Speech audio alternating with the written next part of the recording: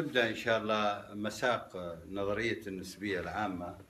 المساق وفاء 603 كما قلنا.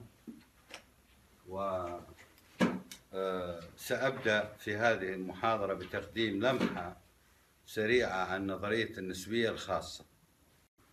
الفصل الأول شابتر 1 راح يكون استعراض سريع ربما محاضرة أو محاضرتين عن النسبية الخاصة. والسبب أنه النسبية الخاصة ربما ما درستوها كويس بس أنا آه، آه، يعني متأكد أنه هذه النظرة أو اللمحة راح تعطيكم فكرة سريعة عنها آه، إذا يعني تابعتم الموضوع. يستحسن المتابعة أيضا.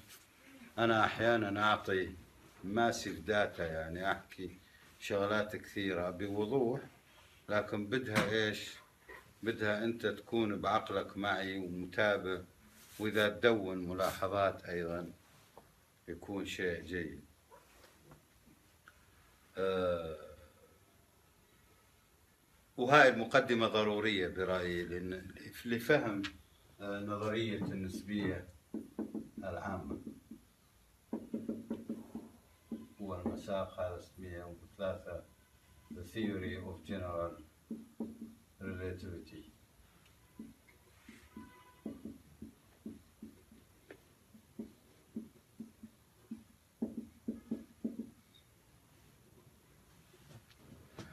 الحقيقة هذه النظرية جاءت أولا قلنا نتحدث بالبداية عن ال special relativity طبعا راح أكتب بالإنجليزي لأنه كمان الدوسية بالإنجليزي. والمساق هو مقرر بالإنجليزي طبعا. إضافة إلى ضرورة تعلم المصطلحات يعني أنتم محتاجين تتعلمون المصطلحات هذه. حتى إذا درستم دراسات أخرى عليا تعرف وين تلاقي المعلومة التي تحتاجها. آه، نظرية النسبية الخاصة هي نظرية طرحها ألبرت إينشتاين في عام 1905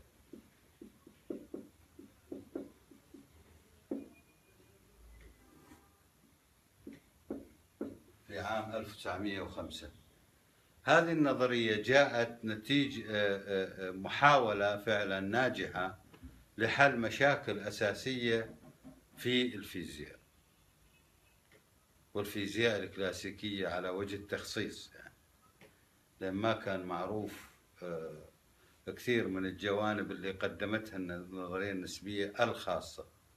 ثم عممت النظرية النسبية الخاصة بعد عشر سنين من طرحها يعني بال 1915 جاءت نظرية النسبية العامة تعميما للخاصة. أه لكي نبسط الموضوع في هذا الشأن أقول أن الفيزياء الكلاسيكية classical physics قامت على ثلاث أعمدة. ثلاث أسس. وهي classical physics قامت على ثلاثة أسس اللي هي number 1 Newton's law laws of motion. تعرفوها القوانين الثلاثة لنيوتن قانون الاستمرارية. الجسم الساكن يبقى ساكن والمتحرك يستمر. في حركته بسرعة ثابتة وعلى خط مستقيم إلى آخره. آه، والقانون الثاني القوة هي المعدل الزمني لتغير الزخم أو آه، إذا سلطت قوة على جسم فإنها تكسبه تسارعا يتناسب طرديا مع مقدار القوة المؤثرة. والقانون الثالث هو لكل فعل رد فعل يساويه في المقدار ويعاكس في اتجاه زائدا قانون الجاذبية. Law of gravity. هذه تشكل إيش؟ Newtonian mechanics. Mechanics. هذا العمود الأول للفيزياء الكلاسيكية. العمود الثاني هو ال Maxwell's. Electrodynamics أو ال اي اللي يسموه classical electrodynamics اللي هو مجموعة قوانين ال electricity and magnetism كانت معروفة قبل ماكسويل ماكسويل شو عمل؟ جمع هذه القوانين.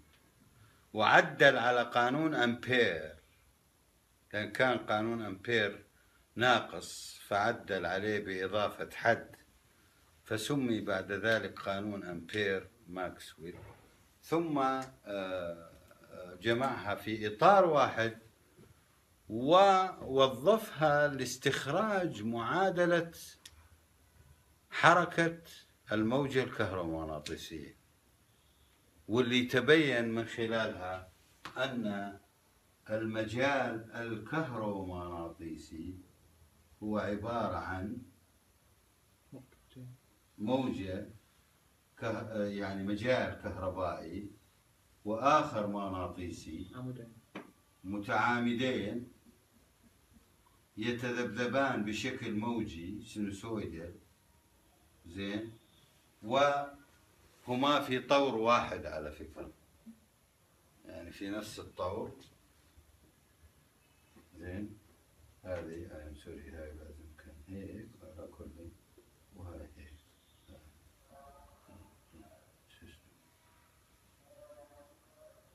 آه هاي مائلة هيك. وهاي مائلة هيك. وهذا المجال عمودي على هذاك المجال. ماشي؟ فها هنا عندك إيش؟ عندك مجال كهربائي اي لنقل هذا ال E وهذا ال B وهذا المجال المغناطيسي. زائدا إيش هون عندنا؟ ال laws of optics كل قوانين ال optics تشتق من ال classical electrodynamics من معادلات ماكسويل. ال geometrical optics وال physical optics geometrical optics اللي هو يعني الانكسار والانعكاس آه هذه قوانين geometrical optics وال physical optics كما تعلمون هو آه التداخل وال polarization والحيود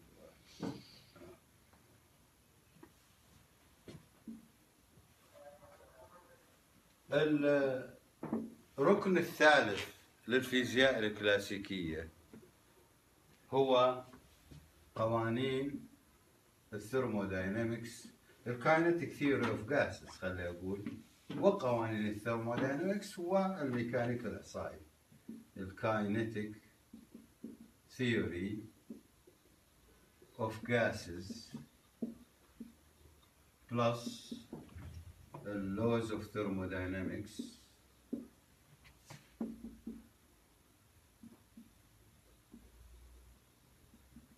زائدا بولتزمان statistics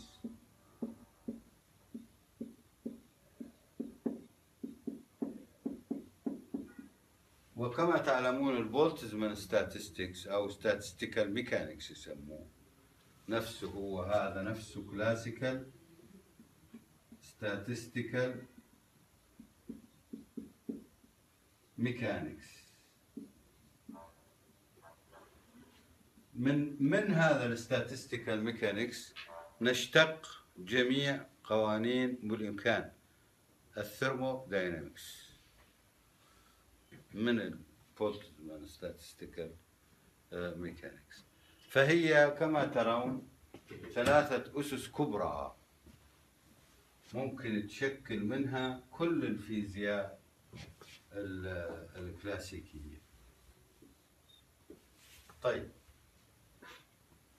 ما الذي حصل وجعل الفيزياء الكلاسيكية تقصر عن تفسير العالم؟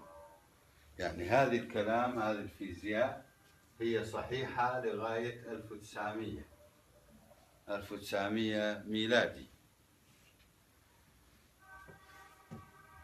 شو اللي صار؟ اللي جعل فيزيائيين يشكون في قوانين الفيزياء الكلاسيكية ثم يبحثون عن بدائل نعم. عن تفسير البلاك وهذيك نعم هذيك جملة مشا... مشاكل أخرى بس بدوتها بالحقيقة كانت في نعم مثل صحيح كلامك. black body radiation عجزوا عن تفسير ال photoelectric effect وظواهر أخرى كثيرة تتعلق. تعتمد تتعلق بالذرة وبال spectra نعم نعم. بس هون في موضوع الميكانيك الكلاسيكي بالذات صار تعارض بين شغلتين. بين ميكانيك نيوتن وال Maxwell electrodynamics. أول ما ظهر ظهر تعارض بين Maxwell electrodynamics أو classic electro اللي يتعامل مع المجالات الكهرومغناطيسية وميكانيك نيوتن الذي يتعامل مع الحركة.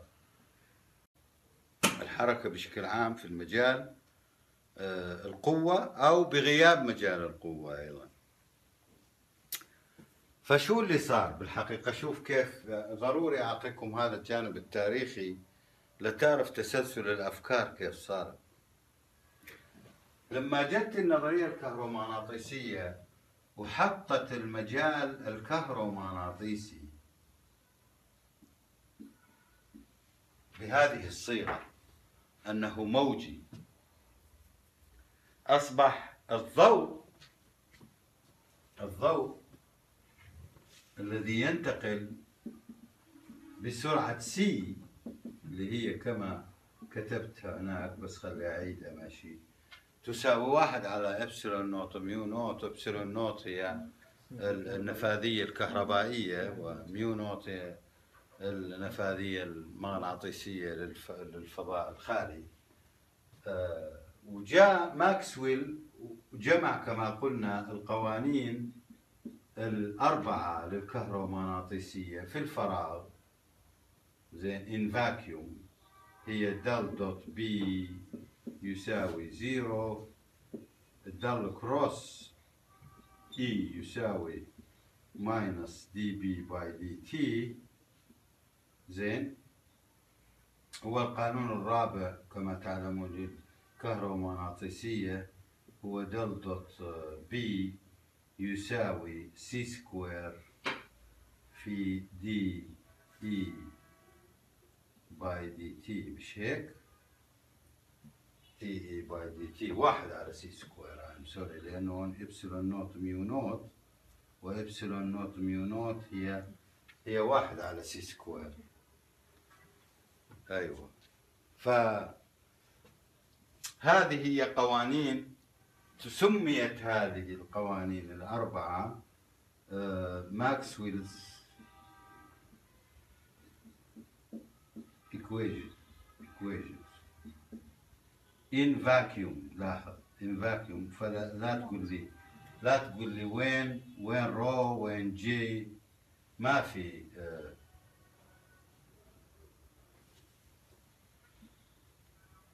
ال rho يساوي صفر وال J يساوي صفر بال vacuum فلذلك لا, لا تلاحظ هذا مهم تعرف زين Uh, light is a wave.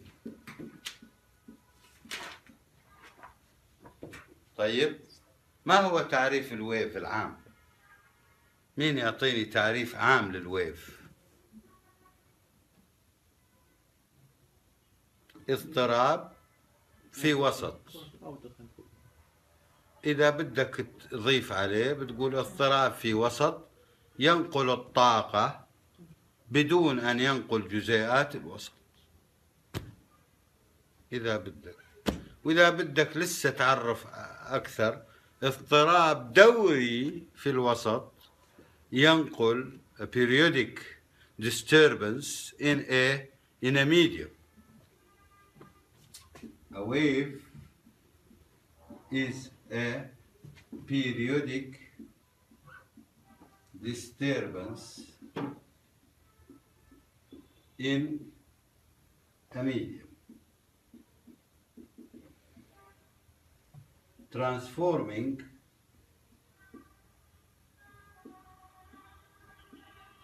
energy without moving uh, مش moving without translating the medium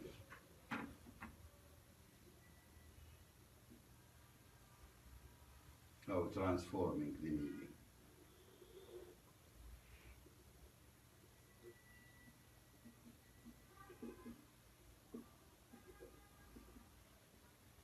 without transforming the medium الوسط يعني الوسط هو ممكن يذبذب تذبذب ولكن لا ينتقل.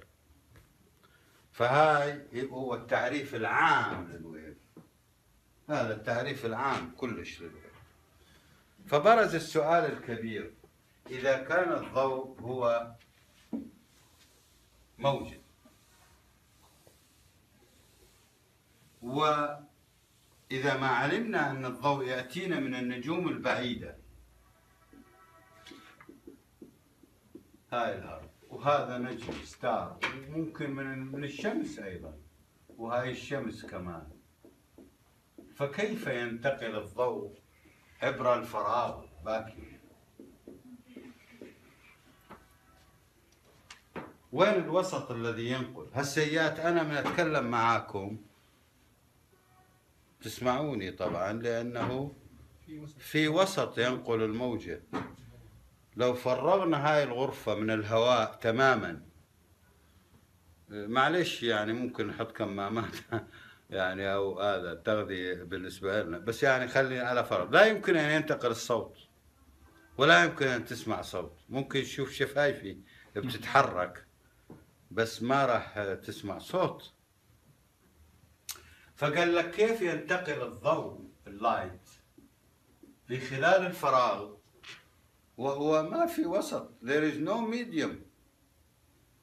قالوا لا في medium. طبعا زائدا أسباب أخرى لأنه هذا القانون بالذات أو القانونين هذول توضح لك أنه تغير الزماني في المجال المغناطيسي يولد لك إيش؟ مجال كهربائي. والتغير الزماني للمجال الكهربائي يولد لك مجال مغناطيسي طيب هيك إحنا معناته أمام كما قلنا هذا الصورة اللي رسمناها للمجال الكهرومغناطيسي دي, دي ينتقل وفعلا هو معادلته معادلة الموجة. لأنه لما تعمل del cross على هاي و del cross على هاي المعادلة بإمكانك تطلع معادلة من الدرجة الثانية اللي هي معادلة الموجة del square of uh, anything B square B مثلا del square B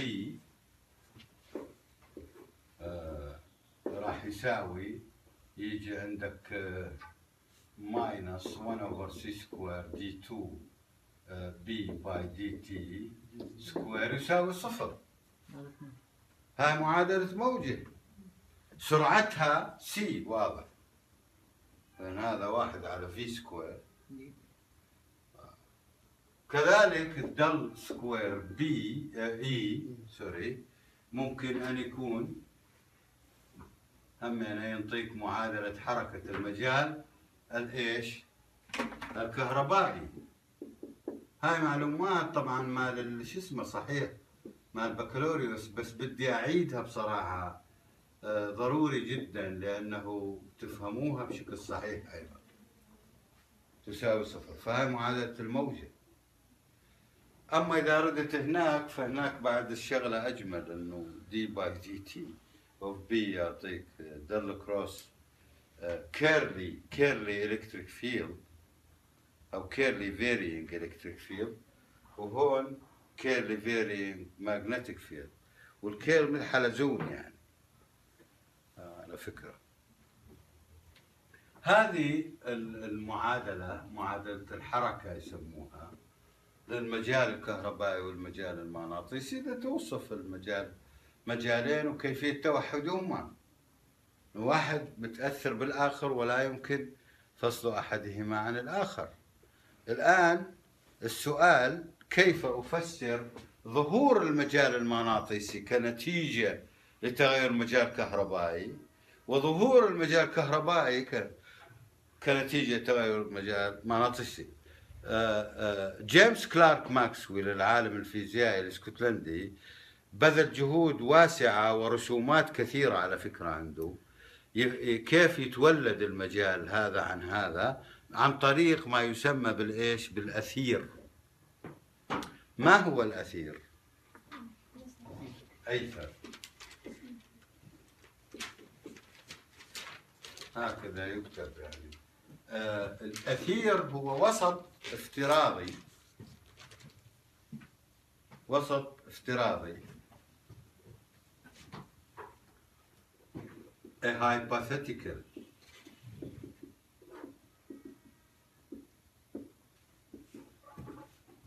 medium filling all space and serving to uh, uh, uh, make possible the transmission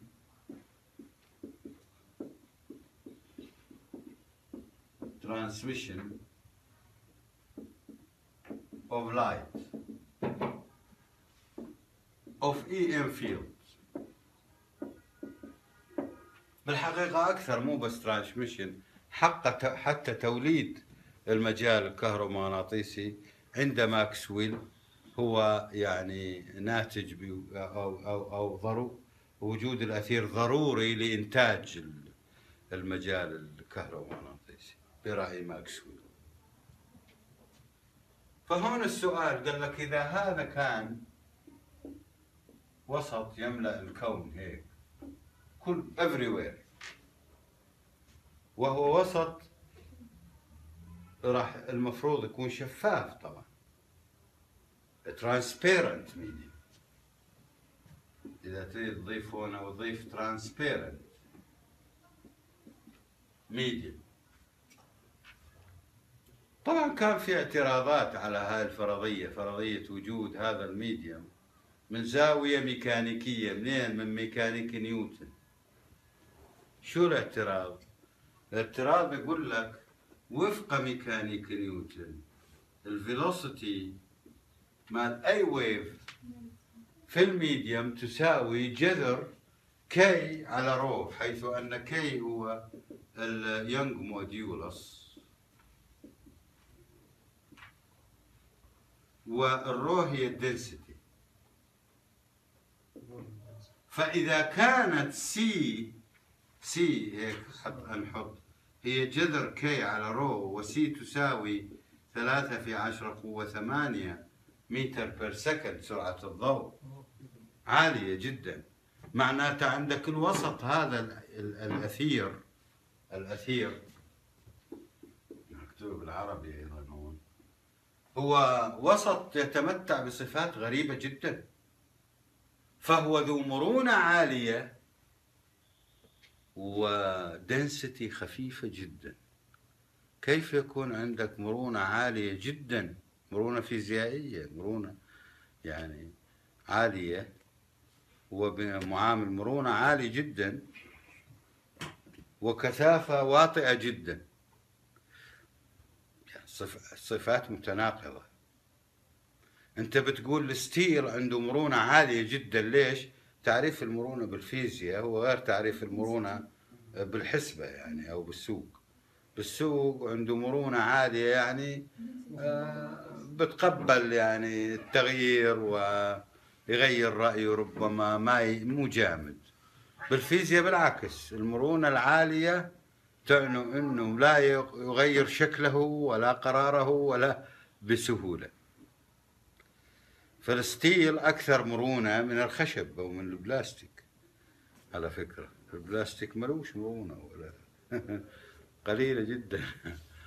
عكس ال- المنطوق ال- العامي اللي نفهمه بالمرونة ها؟ مش هيك؟ يجب أن تفهم. المرونة هي القدرة الشيء على إعادة أو العودة إلى وضعه بعد تأثير القوة عليه. ولذلك يكون ال steel لما تضربه بشاكوش ما تبين بينما تضرب بلاستيك بشاكوش ينطعج. الستيك ما ال steel ما ينطعج بسهولة. هذه كانت اعتراض لكن مع ذلك الفيزيائيين آه، في وقتها قال لك يعني ممكن يكون بصفات آه، بهذه الصفات أو ممكن مش هاي الصفات اللي تنطبق عليه القضية الأكبر كانت قال لك إذا كان الأرض تدور حول الشمس وهي تسير كما نعلم بسرعة 30 كيلومتر بالثانية فإذا كان حولها موجود في كل مكان في الفضاء آه، أثير معناته ال ال معناته الأرض تسبح في بحر من الأثير. طيب ما سرعة الأرض بالنسبة للأثير؟ يعني أخذ مثلا هذا هو الأثير. يملأ الفضاء بهذا الشكل. ما سرعة الأرض بالنسبة للأثير؟ ممكن نعمل تجربة نقيسها؟ قيس سرعة الأرض بالنسبة للأثير؟ قالوا نعم ممكن جدا. ما هي هاي التجربة؟ هاي التجربة هي تجربة مايكلسون ومورلي اثنين من الفيزيائيين صمموا تجربة لحساب أو قياس سرعة الأرض بطريقة optical بصرية. جابوا table مدورة حطوا عليها مرآة هون ومرآة عمودية. هاي ضروري تفهموا التجربة لأنه بتمر عليكم بكثير مساقات مش مساق واحد. يعني مش بس بالماجستير هي مرت بالبكالوريوس وأخشى أنه ما فهمتوها زين بالبكالوريوس. هذه المرآتين خلي نرمز لهم M1 يعني هون وهون M2 ووضعوا بين المرآتين هيك في نص الطريق. لوح نصف شفاف. المسافة مال المرآتين من المركز هذا هي نفسه. يعني هاي المسافة L وهذه المسافة هي L. بالضبط. زين. بس أنا بديش ال- هذا الخط اريد اعمله آه، أجيب المصدر الضوئي. هون في مصدر ضوئي يبعث بشعاع ضوء. شعاع الضوء يجي على هذا اللوح نصف الشفاف. شو يصير معاه ينقسم إلى نصفين. شعاع الضوء. نصف يمرق دغري. والنصف الثاني أو الشعاع الثاني ينعكس. فينعكس وين يروح على M 1 واللي يمر يروح على M 2 يرجع المرآة تبع المرآة هون M M 1 تعكس شعاع وطبعا الشعاع أيضا راح ينقسم إلى جزئين بس أنا راح أرسم الجزء اللي يفيدني وهو الجزء اللي يمرق وأجي هون من هالشعاع M2 أيضا راح يرتد راح أجيب الشعاع المنعكس هون. بدي أحطه بالأحمر حتى أشوف ياهو آه, آه آه هذا لا بالأخضر المنعكس. هذا المنعكس آه هذا الأحمر ام sorry هذا الأحمر. هذا الأخضر خليه. شعاع رقم اللي رايح على M 2 راح أخليه بالأخضر. هيك. هذا رايح والآخر راجع. ماشي؟ فهذا منعكس من على المرآة الأخضر. وهذا مارق من خلال آه، اللوح نصف الشفاف مش المرآة. اللوح نصف الشفاف. هذا هو أصل الشعاع. الشعاع الأصل هو هذا. انقسم إلى قسمين. وصار هذه. واضحة الصورة عندكم؟ بليز قولوا لي إذا ما واضحة موضح أيوة. من يرتد الشعاعين طبعا هون راح يلتقون الشعاع اللي من M2 وهو الأخضر مع الشعاع اللي من M1 وهو الأحمر. بينهما المفروض إذا كان في أثير وكانت هاي الطاولة تتحرك بسرعة V مقدارها 30 كيلومتر في الثانية. وبما أن المسافة متساوية هاي فشعاع الضوء في في هذا الجزء راح يعاني إعاقة من الأثير غير اللي يعانيها شعاع الضوء اللي رايح على M1 اللي راح أسميه 1 مثلا هذا ممكن أسميه الشعاع رقم واحد. شعاع رقم واحد يعاني آه، إعاقة تختلف عن الشعاع رقم اثنين. هيك راح يصير إيش؟ برغم أنه المسافة أؤكد متساوية. المرآتين هذول متعامدتين تماما يعني. رايت أنجل حتى بتصير يصير توجيه للشعاع صحيح. بس راح يصير path difference. ال path difference راح يؤدي إلى ظهور اهداب تداخل اللي هي إيش؟ اللي هي fringes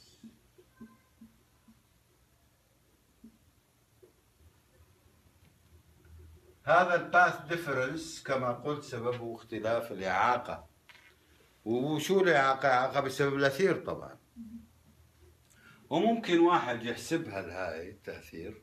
المهم المهم الشغلة اللي أحيانا لما يشرحون هاي التجربة ما يحكوها. هي الآتي. إنه لما تجي تدور ال- الطاولة يعني إذا طلعت عندك فرنجز وتدور الطاولة وتدور أنت طبعا معاها وتطلع بالتلسكوب يعني هون في تلسكوب بدك تطلع على ال fringes هذه. المفروض يصير إزاحة بال fringes. ليش الإزاحة؟ لأنه ال- ال arm number 1 صارت مكان number 2 number 2 ال arm number 1 كانت عمودية على ال velocity على اتجاه الحركة مال ال- مال الأرض كانت number 1 عمودية. آه، و number 2 موازية. لما أديرها للطاولة 90 درجة صارت ال number 1 موازية وال number 2 عمودية. المفروض أنا وبطلع على ال fringes أقدر آه إزاحة. يصير fringe shift. لازم. fringe shift. إذا في إيش؟ إذا في بالفعل إعاقة لما عملوا التجربة بال 1883 آه، واستمرت إلى ال 1800 ويمكن 93 آخر مرة عملوها وهيك شيء. حوالي 10 أو 12 سنة هم يكررون بالتجربة. ما طلع معاهم كل شيء. بدور هذا ولا في إزاحة ولا بطيخ. الفرنجز هي قاعدة كما هي. إذا في فرنجز تطلع بسبب التداخل تطلع هي وما في إزاحة فهاي حيرتهم المشكلة. أول مرة طبعا قالوا أول ما قالوا ها ها ها ها هذا اللي بيصير إنه إنه الأرض سرعتها 30 كيلومتر والأثير الريح الأثيرية كمان بالصدفة جاي تمشي بسرعة 30 كيلومتر بالثانية. بنفس الاتجاه. فمن شان هيك ما راح يطلع عندك. يعني يبدو وكأن الأرض ساكنة. لأن ال- الفرنجز لما ما في حركة بالفرنجز ماش ما في شيفت بالفرنجز معناته ما في حركة بالنسبة للأثير. معناته سرعة الأرض بالنسبة للأثير صفر. هيك بتكون صفر. صح. قالوا بسيطة. نستنى ست أشهر. بتيجي الأرض تصير هون. الأرض تصير سرعتها هون 30 كيلومتر per second والريح الأثيرية كمان 30 كيلومتر per second بس بعكس الاتجاه صار 60 صارت 60 فهيك لازم يطلع عندك فرنجز هسه. استنوا ست اشهر عادوا التجربة. ما في. ما في. قالوا الريح الأثيرية عمال تلحق بالأرض بس كيف تلحق بالأرض؟ إذا كان هو وسط يملأ الفضاء كله أنت قاعد ببحيرة وراكب ببلم بركة وراكب بإيش؟ بزورق وبتمشي. كيف بده المي بس يلحقك أنت يعني؟ طيب في كواكب أخرى ليه؟ يعني شو اللي بيصير هون؟ ما إشي غير مقبول. هذا دعا أنطون لورنس. شخص اسمه أنطون لورنس. للتأمل مليا في الفرق ما في المشكلة. أول إشي وأهم إشي لاحظوا إنه إحنا بنحكي عن نظامين في الميكانيك في هاي التجربة. ليه؟ آه نظام ميكانيك نيوتن اللي هو الحركة والحركة النسبية بدنا نحسبها على ميكانيك نيوتن. لما بنيجي نحكي الحركة مال الأرض بالنسبة للأثير كيف بتصير؟ هو حركة جسم في وسط أو ميكانيك نيوتن ينطبق عليه. لما تيجي على الضوء نفسه والأهداب التداخل وشعاع الضوء وينقسم إلى مرآة واحد أنت بتحكي عن إيش؟ عن حركة ضوء فأنت بتقابل حركة الضوء مع حركة إيش؟ نظام ميكانيكي. حركة الضوء تتبع ماكسويل. حركة النظام الميكانيكي تتبع نيوتن. هل أن الأسس الحركية في كلا النظامين هي نفسها؟ ما ندري. فراح عالج ماكس آه لورنس. أعاد فحص الحركة وأسس الحركة عند نيوتن وعند عند ماكسويل واكتشف أن آه، هنالك نظامين two transformation laws أن نظامين لتحويلات الحركة أو لحساب الحركة النسبية. هذا معناه بدك تحسب الحركة النسبية. هل تحسبها بالنسبة للأرض على ميكانيك نيوتن أم تحسبها بالنسبة للضوء اللي قاعد على طاولة مايكلسون ومورلي؟ في فرق. وجد أن هنالك Galilean transformation تحويلات جاليليو اللي هي x prime يساوي x minus v t في بعد واحد.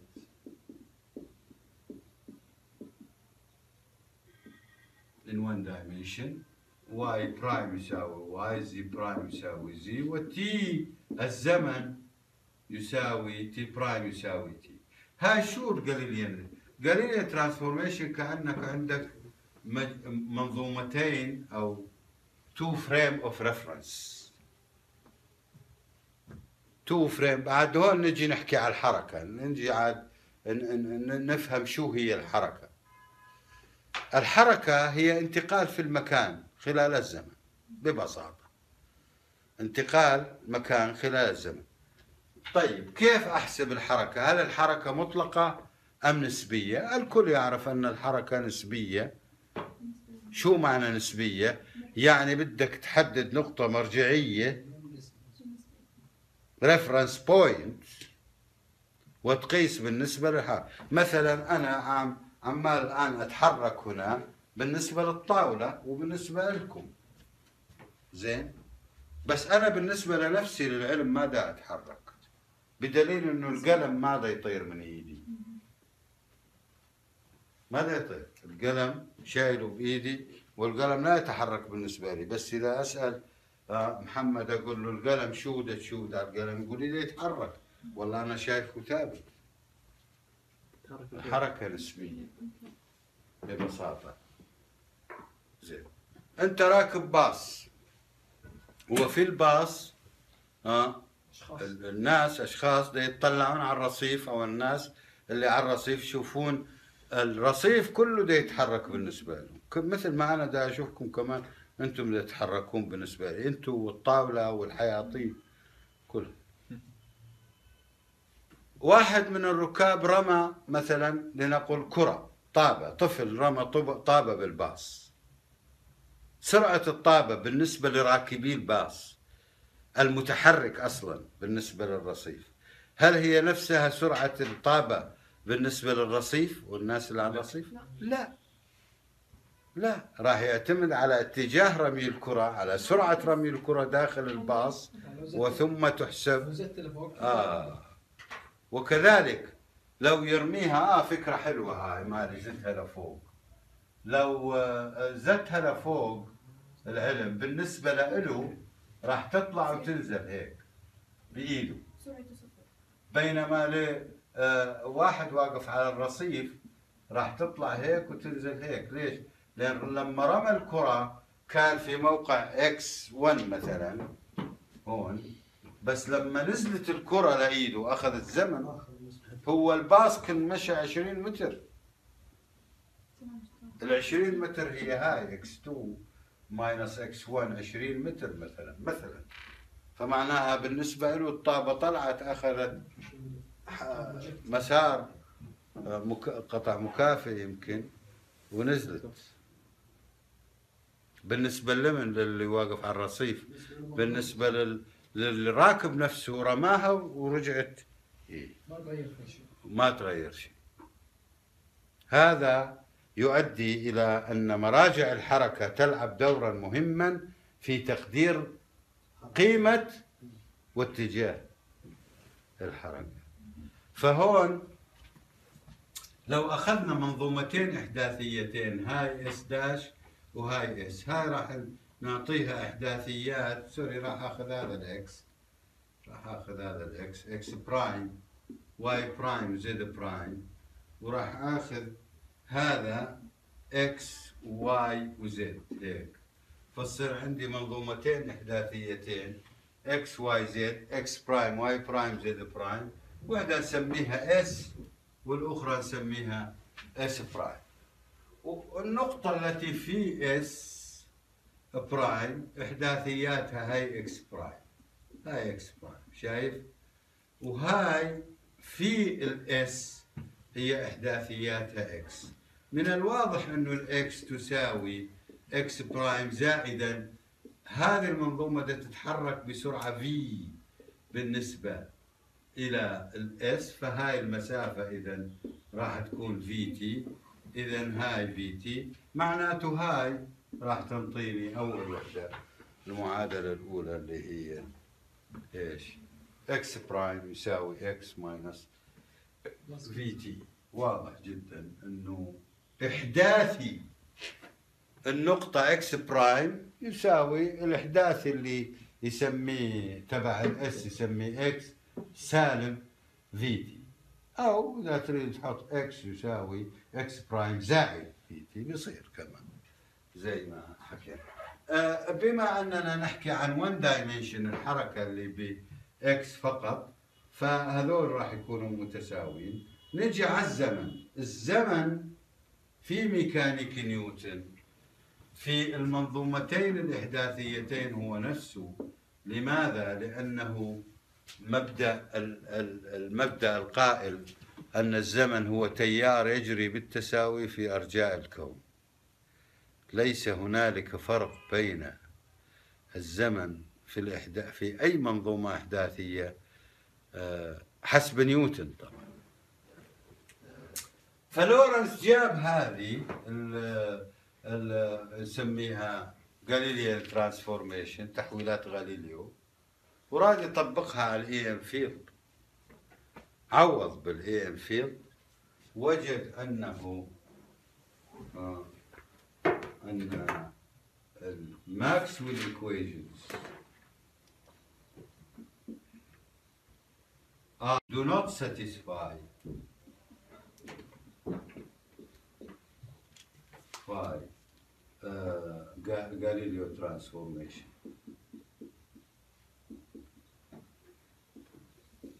لا تخضع ولا تتوافق مع تحويلات غاليليو وإنما وإنما تخضع لتحويلات جديدة.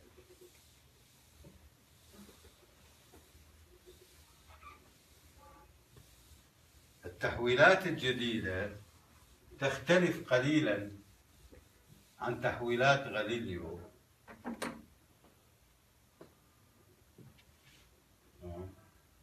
آه، الماكسويل equations تخضع إلى تحويلات x prime يساوي x minus vt على جذر 1 minus v square على c square y prime يساوي y و z prime يساوي z.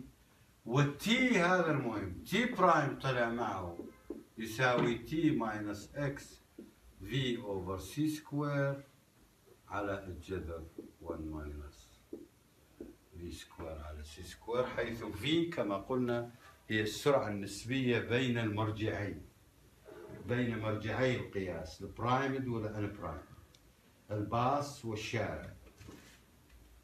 آه الشارع والباص الف... هاي هي ال v زين. آه واضح جدا أن هنالك فرق نوعي وكمي ما بين القانونين قانون ماكسويل آه، قوانين آه، غاليليو للتحويلات الحركة آه، والمرجع والتحويلات هاي التحويلات سميت لورنتز transformation فالأولى هاي جاليليو transformation والثانية هي لورنتز transformation هذه تخضع إيش؟ satisfied by by ماكسويل equations. هاي تخضع الماكسويل أو يعني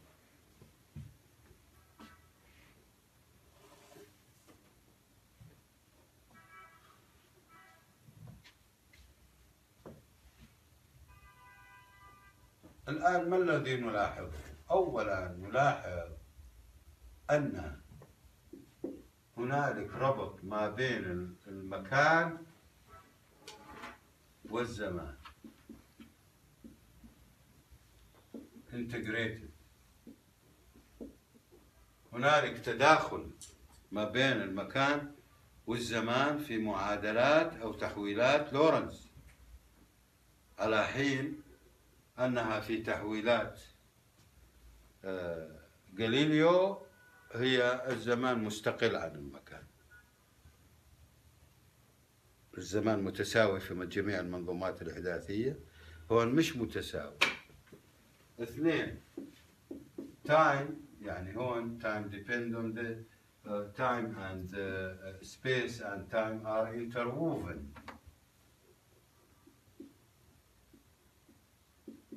نقول عليه are interwoven يعني متداخلين اثنين نلاحظ انه السبيس and time both depend uh, on the uh, relative velocity يعتمد على relative velocity ال v ثلاثة انه التايم the space and time depend on the relative velocity and the time is no longer independent but le- relative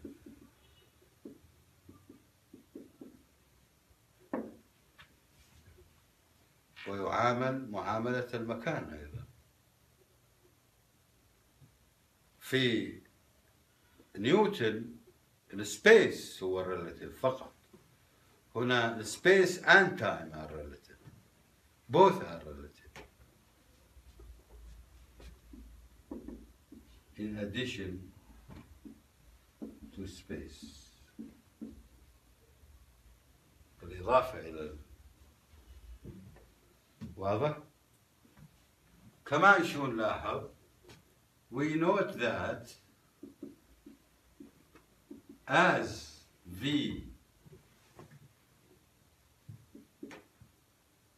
as V goes to أو خلينا نقول V over C goes to zero الجاليليو transformation تصبح ال Lorentz transformation sorry تصبح تؤدي إلى نفس ال Galilean transformation هاي ال Galilean transformation ممكن ترمز لها GT وهاي ممكن ترمز لها إلى تقدر حتى ال T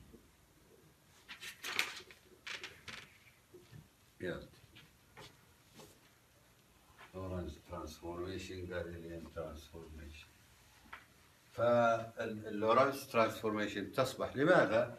لأنه الجذر هذا 1 minus v square over c square يصبح واحد. فإذا حطيت واحد و v over c goes to zero معناته هون هذه راح تطير أيضا. فراح يصير t prime آه، يساوي t والأولى والثانية المعادلة الأولى كمان إنه راح تصير مثل المعادلة الأولى هناك واضح؟ هذا الذي يجعل القول بأنه Lorentz transformation أو ال Galilean sorry transformation هي ال limiting case limiting case for Lorentz transformation. المسألة الأخرى اللي ينبغي ملاحظتها هي أنه في القانون تبع لورنس قوانين لورنس في واضح جدا آه، في سي أنطون لورنس حسب ما أعرف داخل فترة ليست قليلة بهذه السي ما هي السي هذه؟ نعم سرعة الضوء وين؟ بأي ميديا؟ ها سرعة الضوء ها؟ وين؟ في الفراغ. بس ليش في الفراغ؟ هو ما ما أعرف إنه بالضبط هاي بالضرورة تجي بالفراغ. ممكن ممكن. ماذا لو أننا أجرينا تجربة في داخل جوا بحر؟ زجاج. في أعماق البحار. أو في داخل زجاج. في أي؟ ف كانت بالنسبة أعتقد هاي نقطة بالمناسبة ما يشيروا لها المؤلفين. لكن تقدر تستنتجها لما تقرأ بحوث لورنس. أن هناك فعلا مشكلة في تفكير لورنس وغير لورنس طبعا. أنه هاي السي إيش هي؟ Velocity of light. What? Where? In which medium? You are talking about. If you experiment in a, in a مثلا river أو water أو كذا أو glass أو what can you say about it? هل تعوض C? ما هو نعرف إنه ال c بال medium تساوي c prime تساوي c over n واحيانا تكون يعني واحد ونص الان بيطلع عندك اثنين على ثلاثة. c prime تساوي ثلثين c بالفراغ. فهاي كانت مشكلة. عبرت عنها عدة داخل بحوث هو ما كثير كان يعني يصرح بها لورنس. ما يصرح بالمشكلة لكن البحث اللي تقرأه يصرح به يقول في مشكلة. فهون اجى آينشتاين. طبعا لورنز اشتق قانون اللي هو من من ال Lorentz transformation بإمكانك تشتق تقول إنه إذا كان عندنا x 2 prime minus يعني إذا كان عندك منظومة أحداثية هاي منظومة أحداثية ثانية وكان بها هون عندك لنفرض بهذه ال S prime كان عندك مسطرة طولها L sub zero هون. L sub zero هي تساوي x2 prime minus x1 prime بالنسبة للمنظومة الآن. بالنسبة للمنظومة الثانية هي L راح تكون X1 prime فوق. ابدا بس شيل ال prime يعني.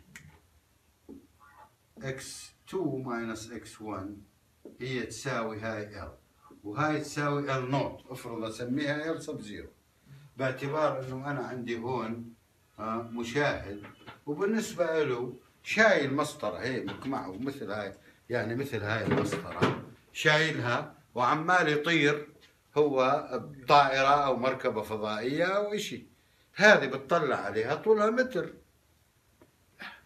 وهي ساكنة بالنسبة له فلهذا سميتها L naught الآن لو تيجي تأخذ هاي المعادلات بصير عندك x prime minus x1 prime يساوي x2 prime x2 minus x1 على جذر مباشر. فإذا حطيت هذه هي ال L sub zero معناته في الجذر تساوي L. طلع معك قانون كأنه بما أن بما أن الجذر دائما أقل من واحد. زين؟ إذا L sub L is much is less than L sub zero. لأنه الجذر آه، مضروبة بالجذر فالجذر أقل من واحد. إلا إذا كانت في صفر إذا كانت في صفر ما في حركة أصلا ما في ما في مسألة. ضاعت المسألة من أصله. فراح يكون L هو إذا أقل من L sub zero في أي حركة. وهذا سمي length contraction.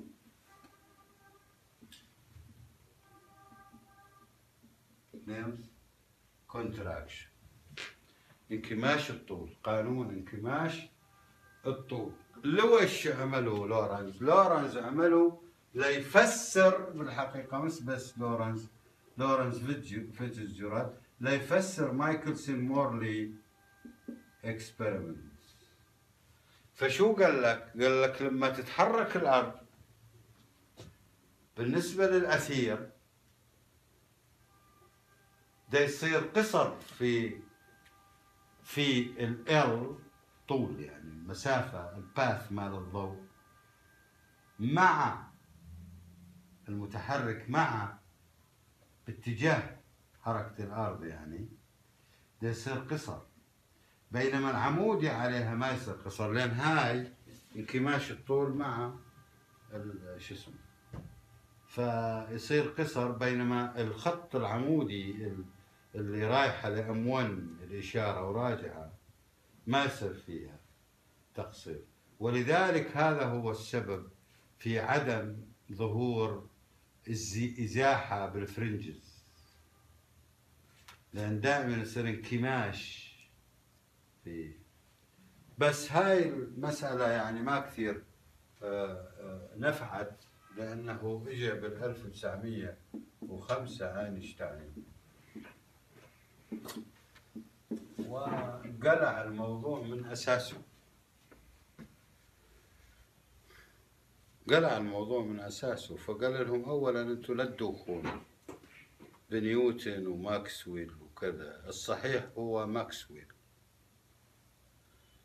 وإنه اياه بدنا نساوي لأن كان بعضهم يقولون خلينا نحور قوانين ماكسويل حتى تنطبق عليها تحويلات جاليليو ما بتزبط.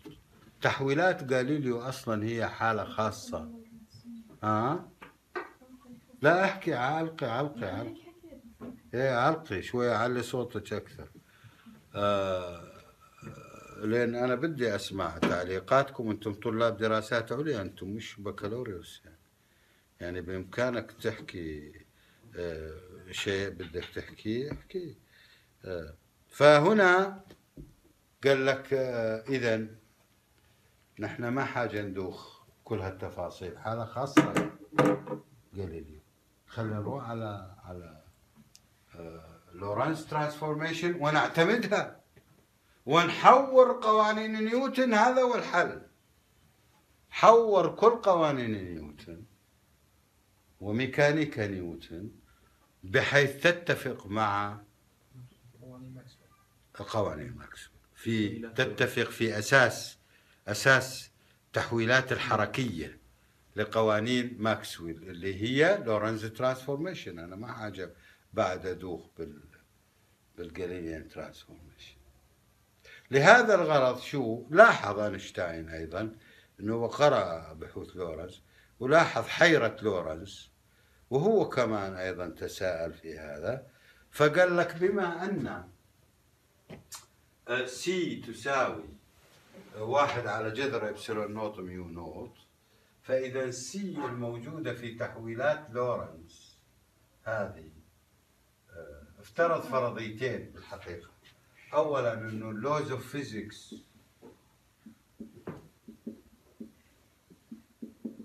should satisfy Lorentz transformations and and uh, be the same for all inertial frames of reference وهذا سموه مبدأ النسبية الخاصة called هذا called special principle of special the principle of special relativity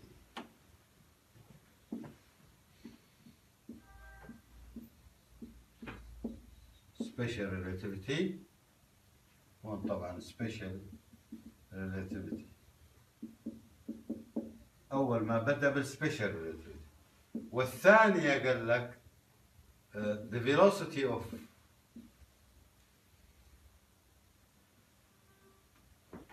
velocity of light in vacuum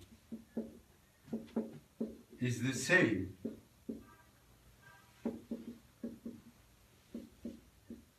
with respect to all inertial observers inertial واضح شو معناه انه يسير بسرعة ثابته You see, فالvelocity of light is the same with respect to all inertial observers بغض النظر عن سرعتهم وبغض النظر والسي هي ال velocity of light in vacuum مش تقول بس velocity of light بدك تقول velocity of light in vacuum حسنا فلما آجي آخذ القوانين واطبقها وين ما كان أطبقها ب velocity of light in vacuum وهي لا تعتمد اذا لا على ال medium خلاص أخذتها كرقم universal constant طبعا هذه ال principle ممكن وهكذا ممكن تضعها بعدة صيغ ممكن تقول the velocity of light in vacuum is the same with respect to all observer ممكن تقول velocity of light is a universal constant independent of any other thing ممكن طيب.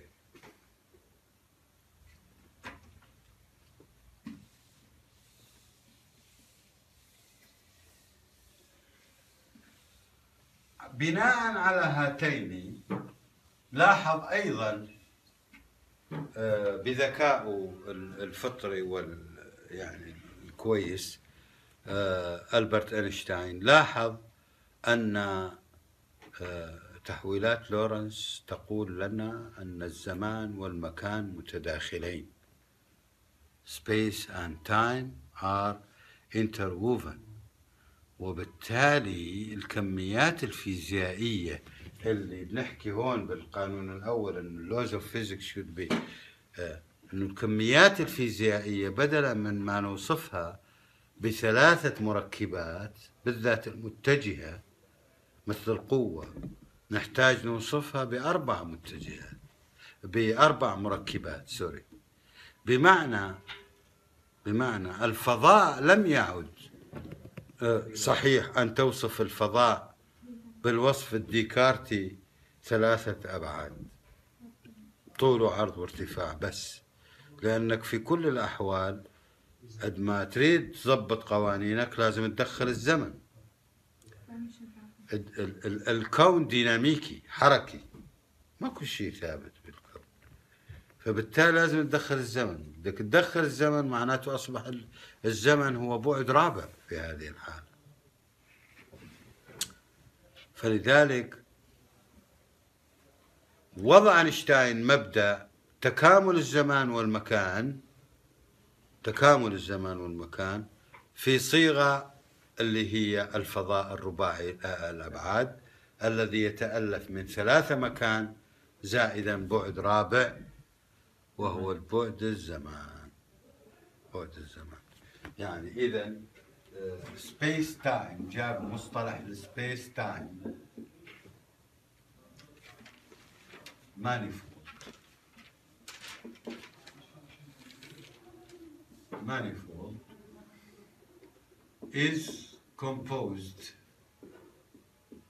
of three spatial ما special spatial coordinate يعني مكانية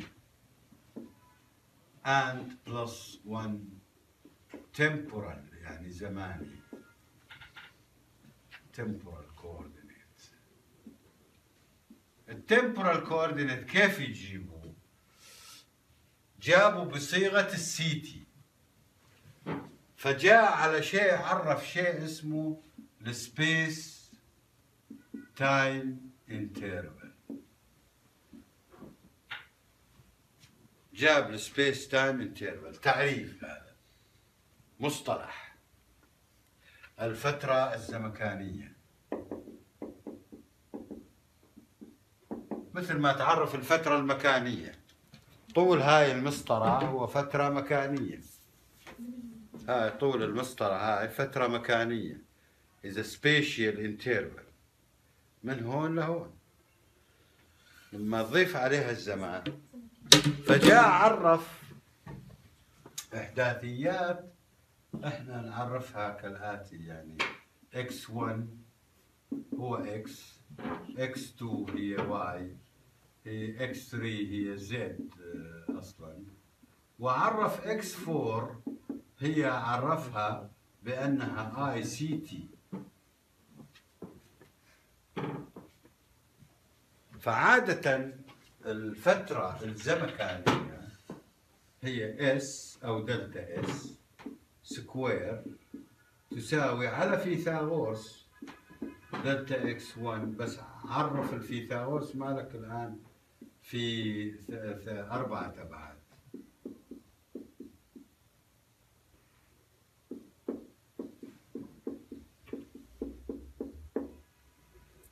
شايف؟ هسه عاد شوية. اتحرك معايا في في ذهنك شوية طور آه، من ذهنك الاستاتيكي شوية يعني تقبلها يعني ممكن أن أعمل هذه هي آه، معناته delta X تربيع زائدا delta Y تربيع زائدا delta Z تربيع.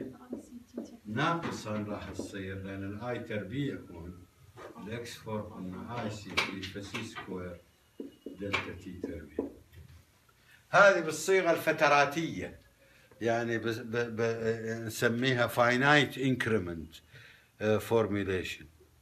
الآن هذه اعتبرها اينشتاين شوف هون ال... ال... ال... الشيء الرائع. اعتبرها أنها تبقى ثابتة بالنسبة لجميع المراجع القصورية.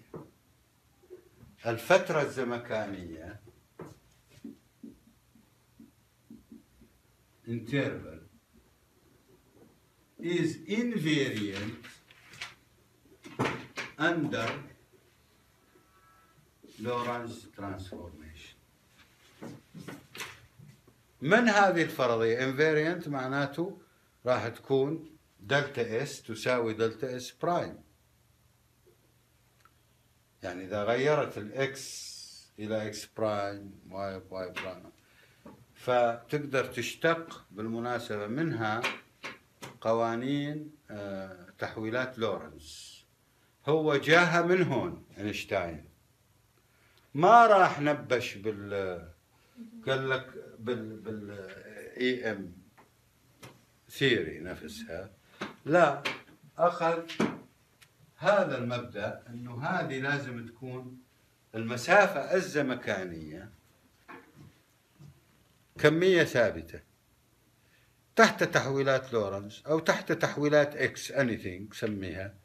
ولهذا بعض بعض الكتاب في زمان ما سموها اينشتاين لورنز transform أو لورنز اينشتاين transformation بس بعدين لا ال- الحق يقول لك إنه هي تبع لورنز هو اينشتاين ما عمل شيء في هذا الشأن.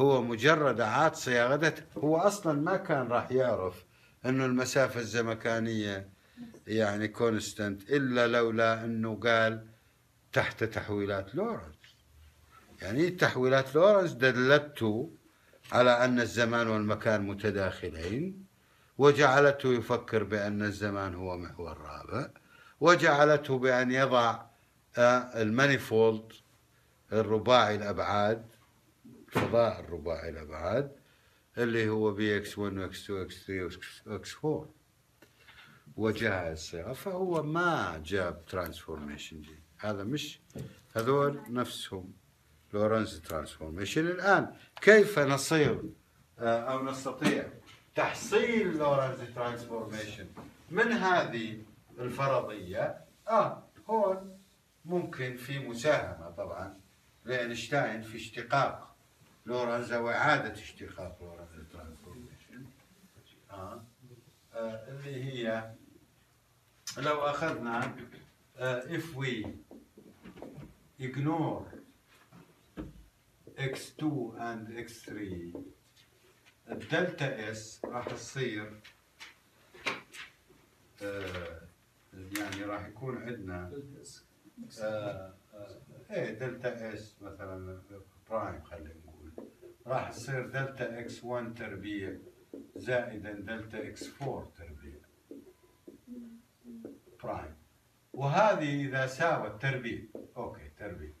وهذه تساوي آه، delta X 1 آه، هاي prime اي sorry أيضا هون delta X 1 تربيع زائدا delta X 2 تربيع.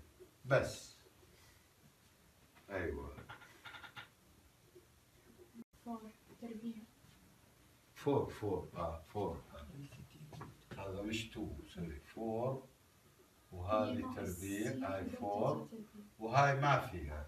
prime يعني delta S أنا اختزلت مش لا أقول ignoring delta X 2 X 3 باعتبارهم ثابتات ما فيهم يعني يعني تغير أصلا.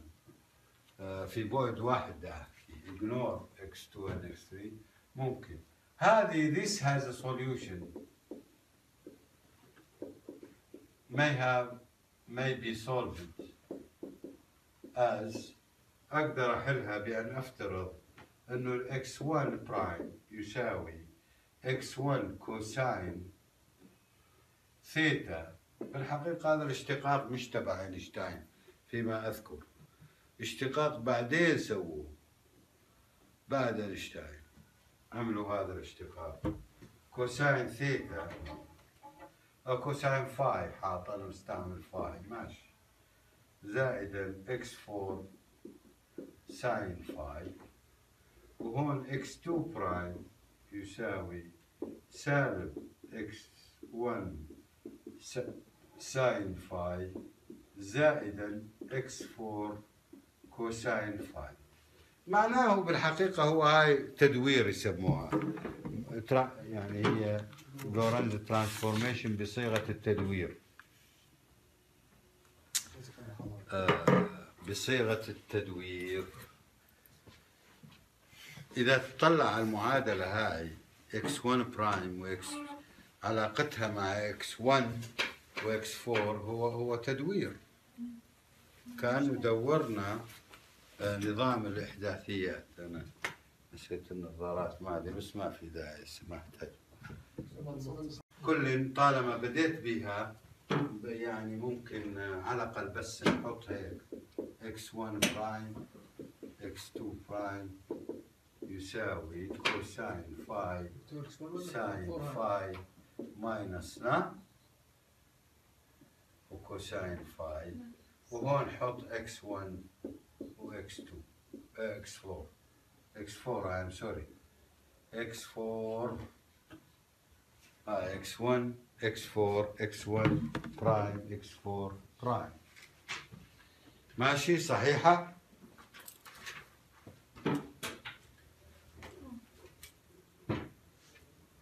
إيه صحيح صحيح